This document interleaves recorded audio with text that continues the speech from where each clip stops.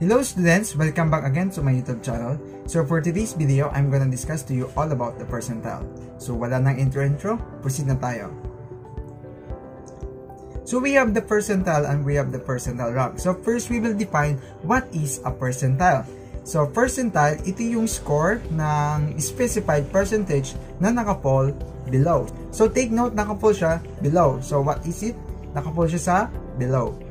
So example, to say score 53 is in the 75th percentile, so to say that 75% of all scores are less than 53. So ibig sabihin yung 75th percentile, ibig sabihin ito yung 75% ng lahat ng score na nakabelow sa 53.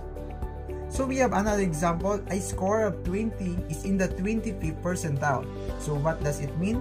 It means that 25 percentage of all score are less than 20. So, ibig sabihin, 25% of all scores are below sa 20. So, yun yung ang sinasabi na percentile. Paano naman sir kapag percentile rank?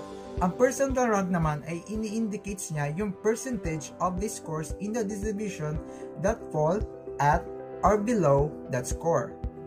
So for example, so say that the percentile rank of 53 is 75. So to say that 75% of the scores on the exam is less than 53. Now let's have an example and pertains the dataset for you to be able to understand more what is all about the percentile rank. So we have here the dataset, we have the 75, 80, 85, 90, and then we have the 95. So the question is, what is the percentile rank of 85? So to get the percentile rank of 85, so we have here the formula. The PR of x, it means percentile rank of x is equals to the number of values below x, take note that is the below x, all over sa, n, that is the total number, and then imumultiply natin siya by 100.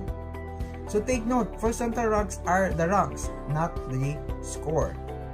So now we will substitute the given data to the given formula. So we have the PR of x is equals to ilan?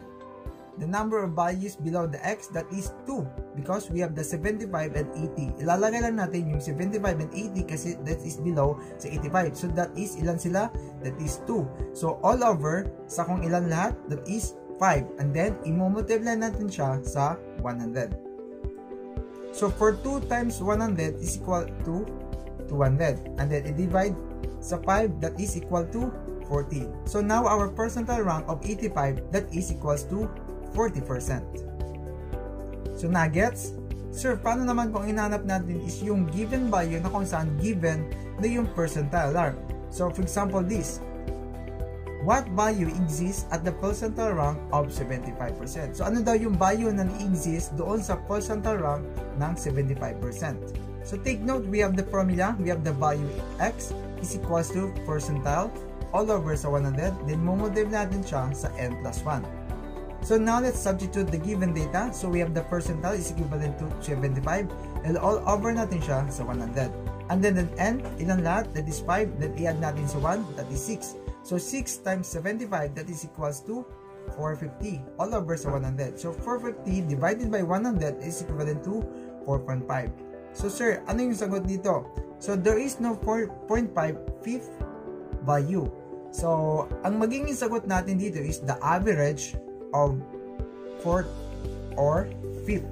Okay? So, the average of fourth and fifth. So, that is the percentile rank of 75%.